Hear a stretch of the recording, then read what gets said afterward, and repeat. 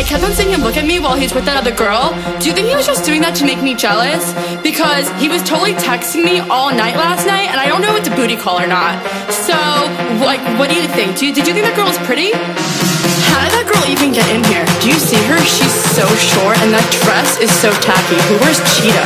It's not even summer. Why does the DJ keep on playing Summertime Sadness? After you get out of the bathroom, can we go smoke a cigarette? I really need one. But first, let me take a selfie.